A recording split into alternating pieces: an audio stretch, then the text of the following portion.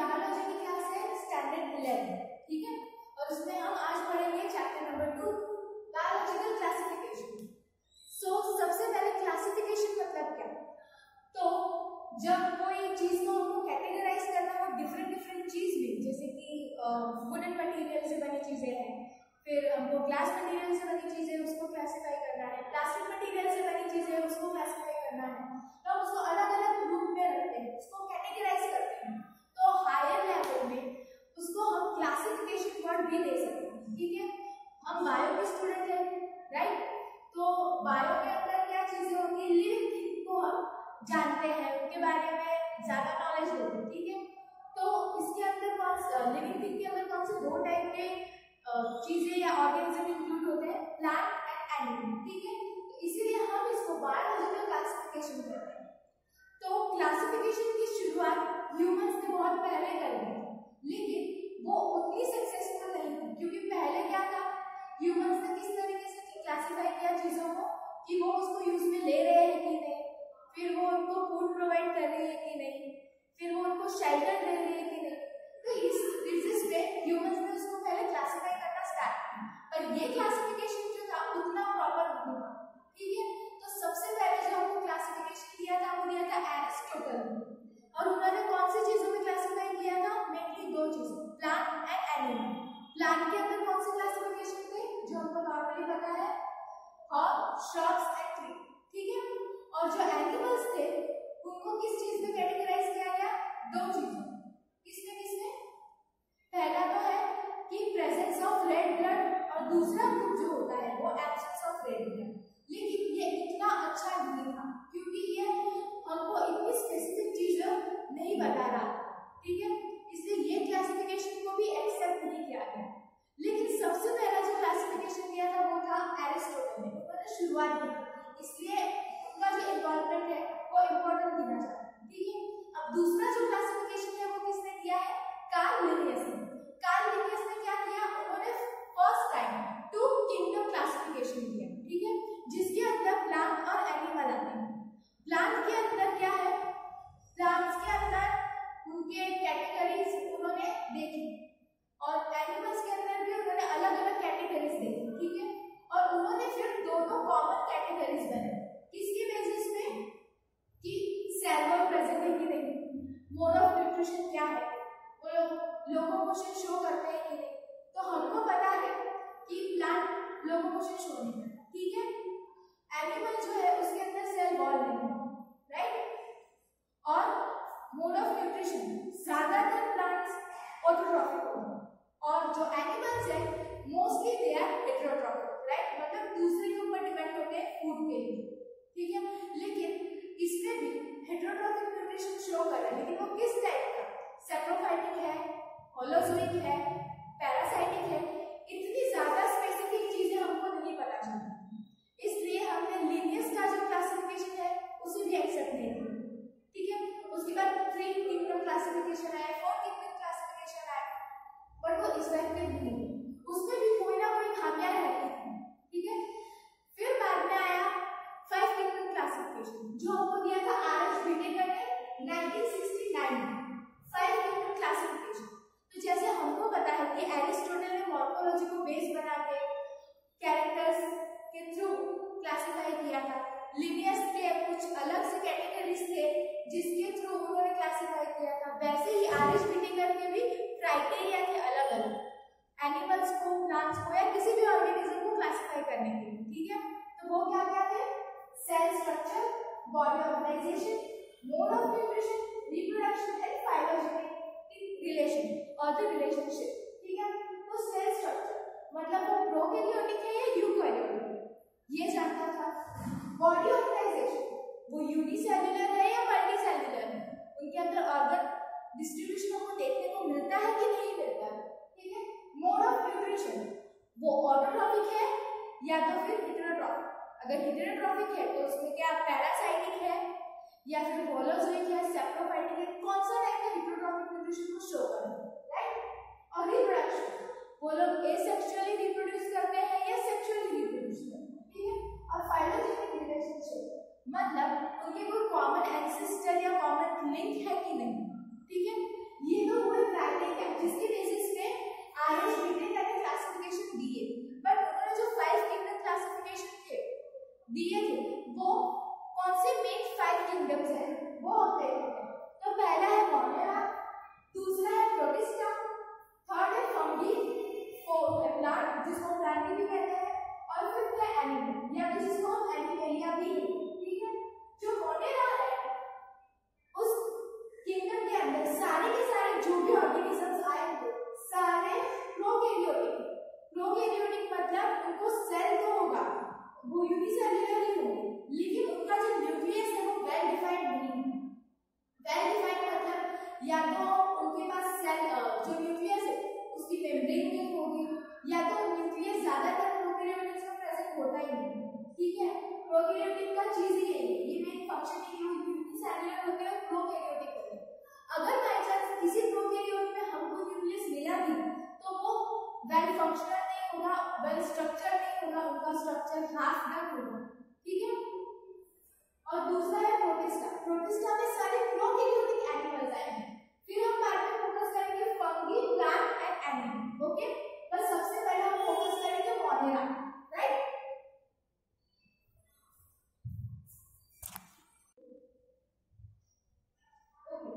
तो आरएसपीटी का जो क्लासिफिकेशन था फाइव किंगडम क्लासिफिकेशन उसमें से सबसे पहले किंगडम मोनेरा के बारे में पढ़ेंगे सो किंगडम मोनेरा क्या है सिंगल सेल स्ट्रक्चर के जो भी ऑर्गेनिजम्स हैं, वो मोनेरा के अंदर इंक्लूड होंगे और जो मोनेरा के अंदर इंक्लूड होंगे, जो भी ऑर्गेनिजम्स हैं, वो प्रोकैरियोटिक होंगे। जैसे मैंने आपको आगे बताया था प्रोकैरियोटिक मतलब सेल तो होगा लेकिन न्यूक्लियस नहीं होगा। मेजॉरिटी मेंबर्स में अगर होगा भी तो वेल डिफाइंड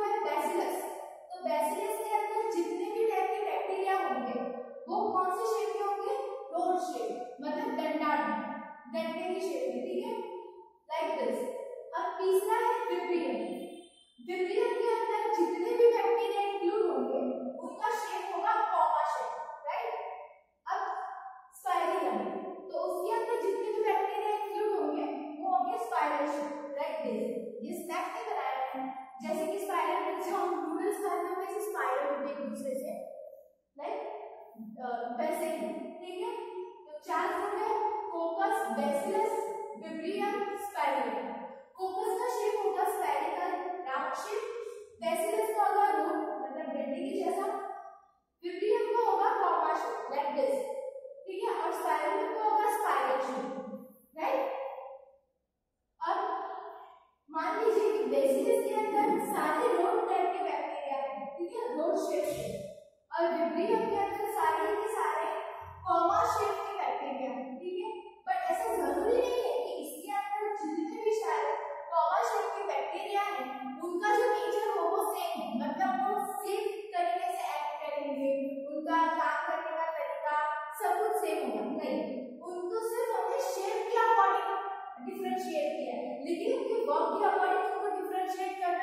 क्योंकि उनका जो नेचर होता है काम करने का और उनका स्वभाव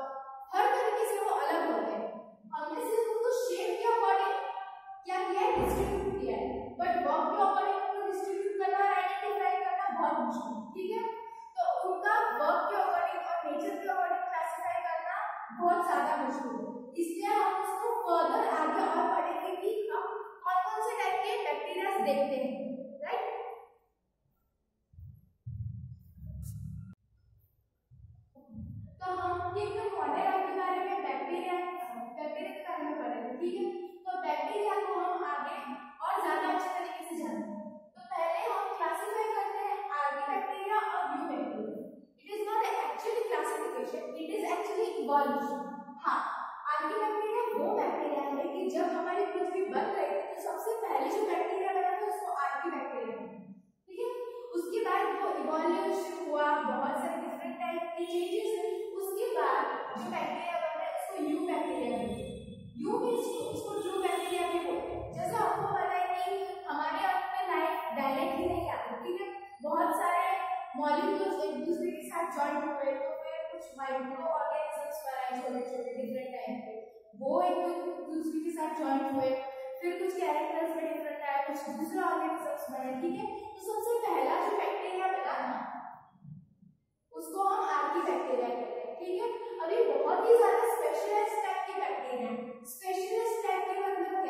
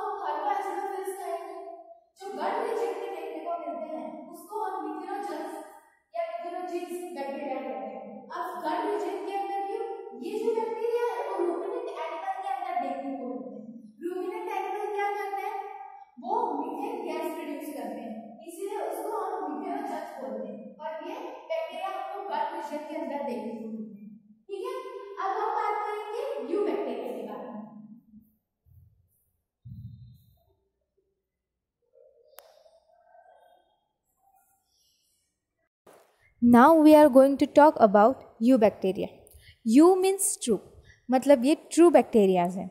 जैसे मैंने पहले बताया था कि आर्की बैक्टीरिया ट्रू बैक्टीरिया नहीं है। उनका इवोल्यूशन हुआ, थोड़े चेंजेस हुए, उसके बाद वो यू बैक्टीरिया बने। तो जो यू बैक्टीरिया के कैटेगरी में जितने भी बैक्टीरियाज आते हैं, उसको ट्रू बैक्टीरियाज कहते हैं। अब इसके अंदर जो साइटोप्लाज्म होता है, वो 80 परसेंट वाटर कंटेंट उसके अंदर होता है। तो इसीलिए उसका स्ट्रक्चर या तो बोलूँ कि उसकी जो कंसिस्टेंसी होती है, वो जेल लाइक होती है, ठीक है?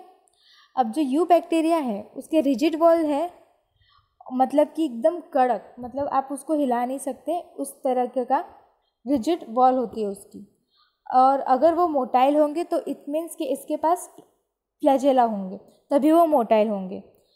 फ्लैजेला के थ्रू क्या करता है, जब वो एक हेयर लाइक वो स्ट्रक्चर होता है तो जब वो उसको हिलाते हैं तो क्या है, उसकी मूवमेंट की वजह से उनको फोर्स मिलता है आगे की तरफ़ जाने के लिए। तो इसके लिए फ्लैजेला उसको मूवमेंट में हेल्प करता है। इसीलिए वो मोटाइल होंगे जब उनके पास फ्लैजेला होगा। ठीक है?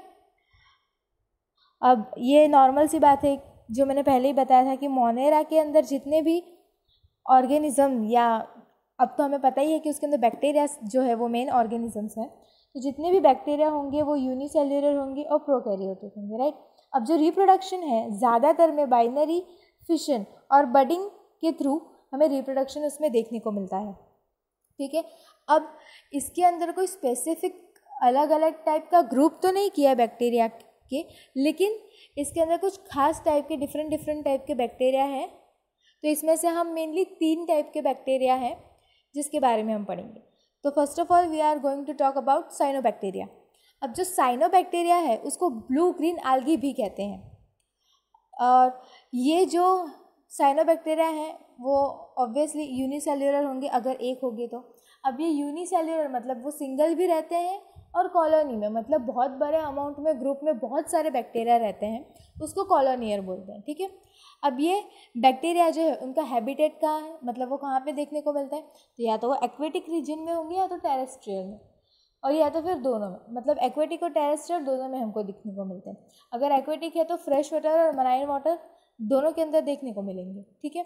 अब जो हमने देखा कि जो साइनो बैक्टीरिया है, उसका दूसरा नाम ब्लू ग्रीन आलगी है, ठीक है? अब आलगी से हमको क्या याद आता है? ग्रीन कलर क्योंकि आलगी ग्रीन कलर की होती है। तो इसके साथ हम रिलेट कर सकते हैं कि वो फोटोसिंथेसिस भी शो करती होगी।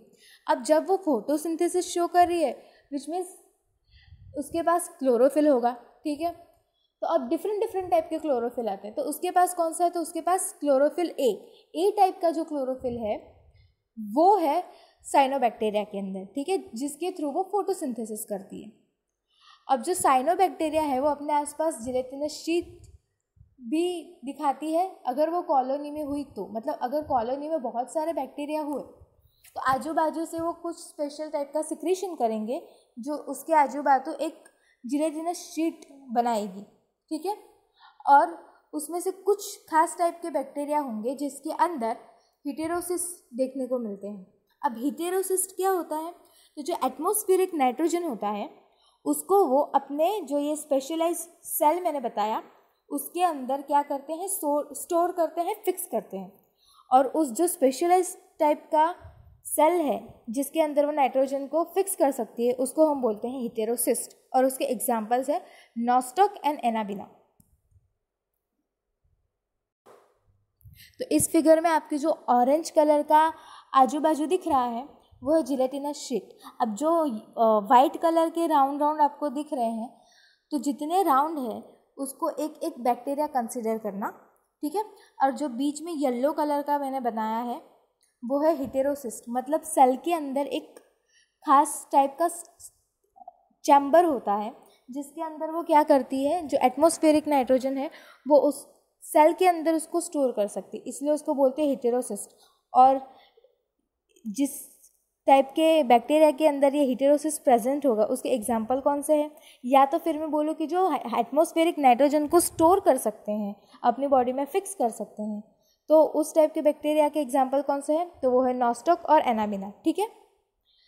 अब ये जो आजू बाजू का जिलेटिनस शीट है, वो बैक्टीरिया अपनी बॉडी में से कुछ खास टाइप के केमिकल सिक्रीट करता है, उसके थ्रू बनता है। तो जो ऑरेंज कलर का आपको दिख रहा है आजू बाजू वो जिलेटिनस शीट है, ठीक है? उसको म्यूसिलेजिनस शीट भी बोलते हैं, क्योंकि उसके अंदर मेन कंटेंट जो होगा सिक्रेशन का वो म्यूसिल होगा, ठीक है? इसलिए। अब दूसरा है कि हम कीमोसिंथेटिक ऑटोट्रॉफिक बैक्टीरिया के बारे में बात करेंगे। तो जो ये कैमोसिंथेटिक ऑटोट्रॉफिक बैक्टीरिया है, वो क्या करते हैं? वो जो डिफरेंट डिफरेंट टाइप के इनऑर्गेनिक सब्सटेंस हैं, उसको ऑक्सीडाइज करेंगे। और जैसे कि उसका एग्जांपल है नाइट्रेट नाइट्राइट और एमोनिया ठीक है? उन्होंने क्या किया? उसको यूज़ करेंगे और उसमें से एनर्जी गेन करेंगे। अब जो एनर्जी है, वो किस फॉर्म में होगी? तो वो एटीपी के फॉर्म में होगी। ठीक है? तो ए के फॉर्म में वो एनर्जी प्रोड्यूस करेंगे और उसको फिर यूज़ करेंगे।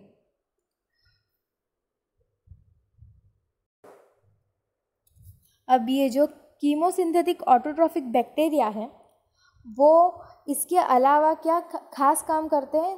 उनका रिसाइकलिंग प्रोसेस में बहुत हेल्प होता है। तो किस टाइप का रिसाइकलिंग तो नाइट्रोजन है फॉस्फोरस है आयरन है फिर सल्फ़र है। ये सारे जो कंपोनेंट्स हैं, उनको रिसाइकलिंग करने की प्रोसेस में वो बहुत ज़्यादा अच्छी तरीके से हमको यूज़फुल होते हैं। ठीक है? अब हम हिटेरोट्रॉफिक जो ये सेकेंड टाइप के बैक्टीरिया हैं, उसके बारे में बात करेंगे। तो हिटेरोट्रॉफिक जो बैक्टीरिया है, वो मेनली डीकम्पोज़र की तरीके से काम करते हैं और हमको एटमॉस्फेयर में हाईली अमाउंट में देखने को मिलते हैं।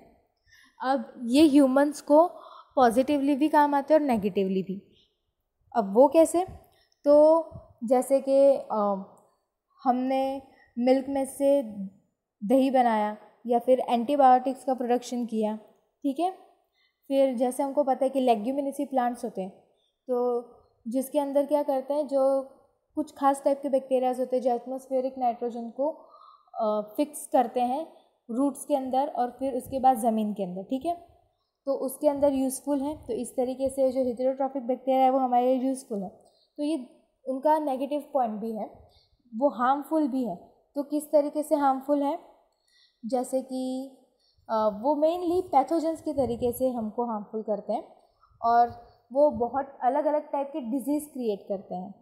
जो डिज़ीज़ ह्यूमन को भी हो सकती है, वो क्रॉप्स को भी डिज़ीज़ दे सकते हैं।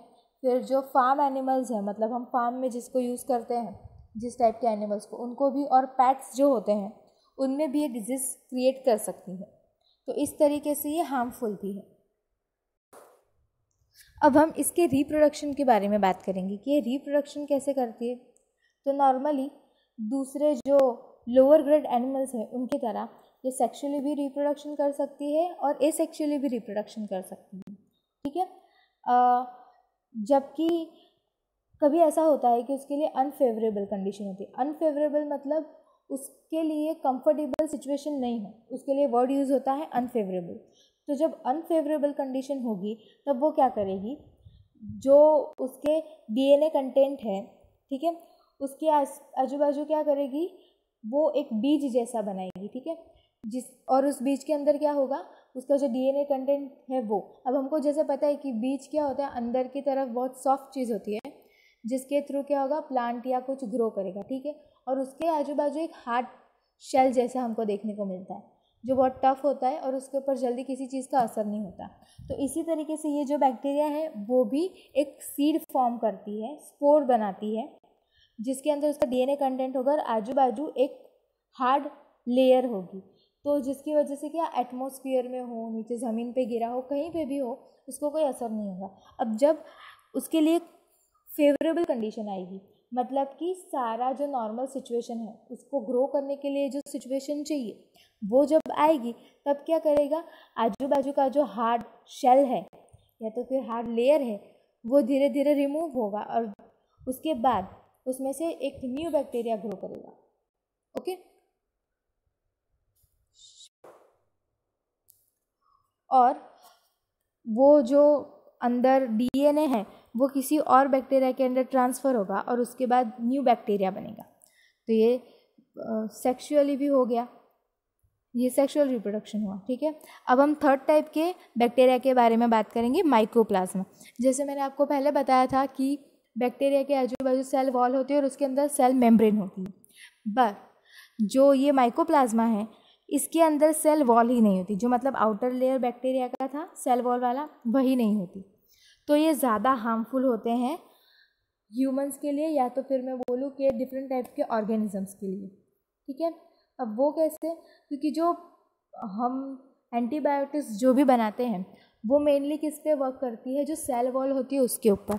अब जब किसी ऑर्गेनिज्म में, या मैं बोलूँ कि हम बैक्टीरिया के ऊपर ही काम कर रहे हैं तो जब बैक्टीरिया के अंदर सेल वॉल ही नहीं है मतलब जो एंटीबायोटिक्स को ज्वाइन होना है जिस जगह पे, वो जगह ही उसको नहीं मिलेगी तो फिर वो एक्ट कैसे करेगा?